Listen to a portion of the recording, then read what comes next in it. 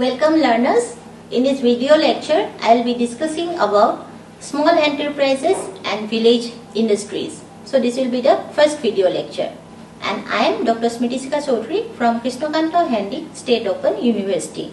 So this unit is explained in two video lectures. After completion of each part of the video lecture, you need to self-check your progress at the end of the lecture.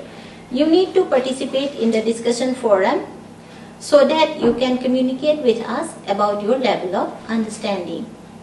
So part uh, 1 of this video lecture will deal with small enterprises, its definition, characteristics, relationship between small and large enterprises.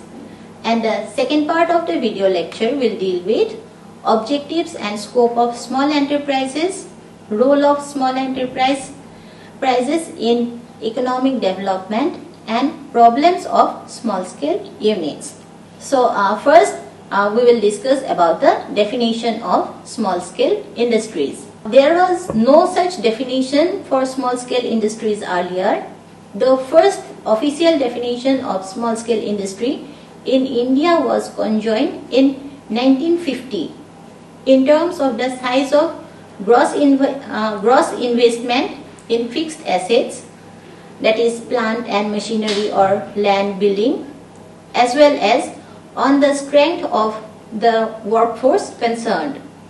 The criteria underwent a number of modifications over the years. In the later part of the 50s, there was a change in definition of small scale industries. There was a shift from workforce, workforce criteria to investment criteria the Micro, Small and Medium Enterprises Development Act 2006 have provided the definitional framework. So under the Act, enterprises have been categorized broadly into those engaged in manufacturing and services. Both categories have been further classified into micro, small and medium enterprises based on their investment in the plant and machineries in case of manufacturing enterprises and equipment in case of service enterprises. So now let us discuss those in detail. So first about manufacturing enterprises, the investment limit of various categories of manufacturing enterprises are first micro enterprise, the investment limit should be up to rupees 25 lakhs. So those enterprises where the investment limit is maximum up to 25 lakhs, those were considered as micro enterprise. Then those enterprise where investment limit is above 25 lakhs and up to uh, rupees 5 crore, those were considered as small enterprise. And medium enterprise were those where investment is above rupees 5 crore and up to maximum of rupees 10 crore. Then for service enterprises, the investment limit of various categories are, first one is uh, for micro enterprise, investment limit is up to rupees 10 lakh. Then for small enterprises, the investment limit is above 10 lakhs and up to rupees 2 crore. And for medium enterprises, the investment limit is from rupees 2 crore to up to rupees 5 crore.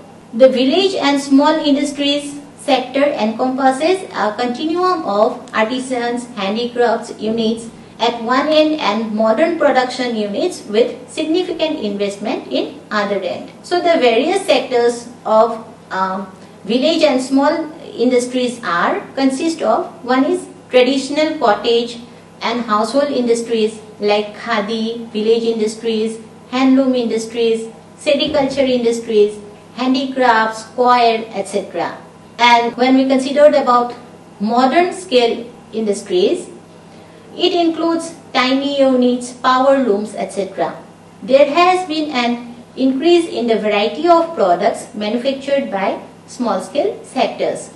They have ventured into the manufacture of many new and sophisticated items. Now we will discuss about the characteristics of small scale industries. So first is one person show. In case of small scale industries, generally it is considered as one person show because the um, sole person okay, who runs the organization, he or she monitors the every activities of the organization. Then the uh, second thing uh, is managed in personalized fashion. As the entrepreneur, okay, the sole person, he manage, he or she manage the activities of the organization in their personalized fashion. Like whatever they feels they likes, based on that they runs the organization. Then third characteristic is about gestation period.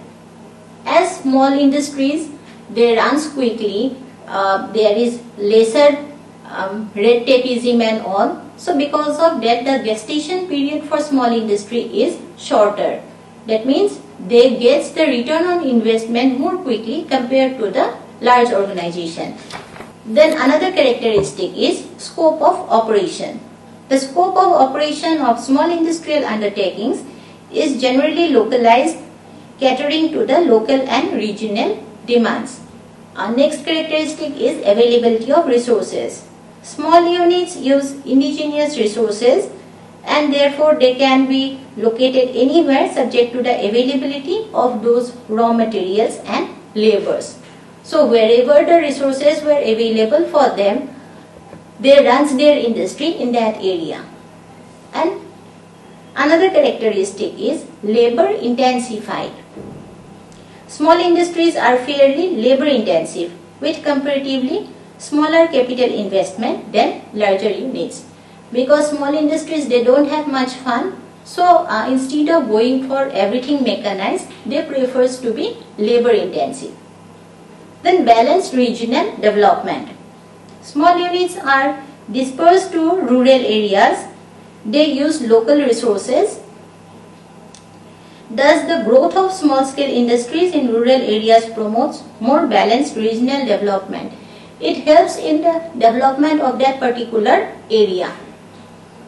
And then uh, last characteristics which I will be going to discuss is about adaptable to changes.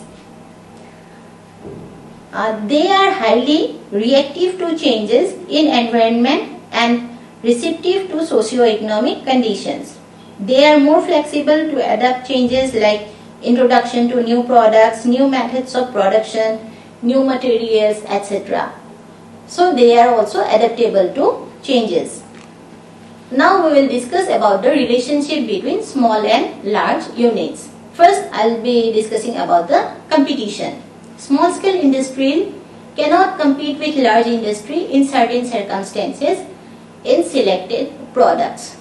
As like uh, small scale industries have lesser resources, uh, they have lesser uh, fund, so they cannot compete in all sectors in with uh, large scale industries. Then second point is about supplementary. Small scale industry can fill in the gaps in case of excess demand. The large industries has got their fixed production capacity installed. In case of excess demands, the small industries can supplement their activities so as to meet the excess demand. Suppose uh, some large industry they were operating as their production unit is very huge they have some fixed kind of uh, production setup. So even if demand increases, uh, like those demands can be met by these small scale industries. Then complementary. Apart from the supplementary relationship with large scale industries, small industry has been complementary to its large counterparts. In the real world, many small units produce intermediate products for large units. So uh, sometimes it will be more helpful for some customers if they get the products locally. So uh, these small scale industries, they were also uh, okay, like working as complementary services they were providing to the large scale industries. Then about initiatives. Attracted by the high profits of large units, small units can also take initiative to produce the particular product. If it succeeds, the small unit grows to a large one over a period of time. So suppose if any small uh, small scale industry, if they were uh, producing something and it's growing, uh, after certain period of time, they can become a large large scale production unit. servicing. Small industries also do install servicing and repairing shops for the plants of large units. Suppose for example car. So these four wheelers are production units were large scale industries but repairing of those four wheelers or maybe uh, servicing of those four wheelers then there are some small scale industries which helps in running those organizations. Such small services uh, units can be seen proliferating in respect to our large industries like refrigerators, radio, television set, watch and clocks, cycle and motorcycle etc. So we will see plenty of such small scale industries who are, who are offering uh, these services for the large industries. Hope uh, you have understood so far. So here uh, I have put one question for you. Like what are the characteristics of small scale enterprise? Please uh, write it down in your notebook. And if you have any queries, any uh, doubts regarding this video lecture, you can mail to us. Thank you.